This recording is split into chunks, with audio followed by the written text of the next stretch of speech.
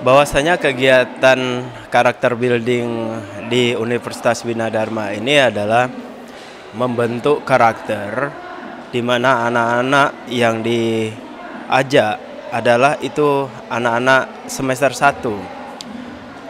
Kita tahu bahwa di semester 1 inilah anak-anak dengan berbagai karakter dari tingkat SMA kemarin itu justru kita di Universitas Bina Dharma menyatukan karakter mereka tersebut supaya karakternya bernilai positif seperti itu. Harapan ke depan ya supaya mahasiswa Universitas Bina Dharma memiliki karakter yang baik seperti itu. Kegiatan ini sudah jalan tiga tahun.